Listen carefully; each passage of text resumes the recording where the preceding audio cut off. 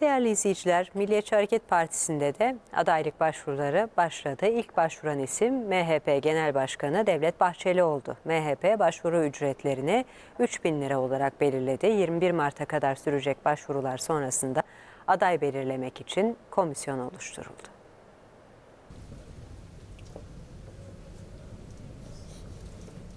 MHP'de milletvekili adaylığı için başvurular başladı. İlk imzayı atan MHP Genel Başkanı Devlet Bahçeli oldu. Amin efendim. Milliyetçi Hareket Partisi'nde aday adaylığı için başvuru süreci başladı. MHP lideri Devlet Bahçeli de bunun için oluşturulan kayıt kabul alanlarına gelerek başvurusunu gerçekleştirdi. MHP Genel Başkanı Bahçeli, divan üyelerinin bazılarıyla aday başvurusunun yapıldığı salona geldi. İmzasını attıktan sonra başvuru belgesini aldı. Yedemini alıyoruz. MHP liderinin ardından Meclis Başkan Vekili Celal Adan ve divan üyeleri de başvurularını yaptı. MHP'de aday başvuruları için 3 bin lira ücret belirlendi. Engellilerdense bu ücret alınmayacak. Başvuru paraları doğrudan depremzedelere aktarılacak. Genel başkanımızdan, liderimizden sonra e, tabii müracaatlarımızı bizler de yapıyoruz. E, bugün liderimiz Devlet Bahçeli Bey ilk müracaatını yaptı.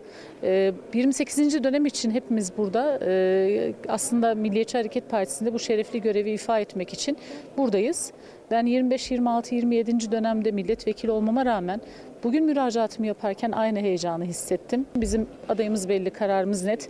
Cumhurbaşkanlığında inşallah Cumhurbaşkanımız Sayın Recep Tayyip Erdoğan Beyefendi'ye, e, milletvekilliğinde ise e, Cumhur İttifakı'nın yüksek çoğunlukla Türkiye Büyük Millet Meclisi'nde temsiline ama Milliyetçi Hareket Partisi'nde çok yüksek sayıda olmasına gayret edeceğiz. Online olarak da yapılabilen başvurular 21 Mart Salı gününe kadar alınacak. Sonrasında milletvekili adayı değerlendirme ve tespit komisyonu çalışmaya başlayacak. Teşkilattan sorumlu Genel Başkan Yardımcısı Semih Yalçın başkanlığında oluşturulan komisyonda Genel Sekreter İsmet Büyükataman, Genel Başkan Yardımcıları Yaşar Yıldırım ve Mustafa Kalaycı görev alıyor.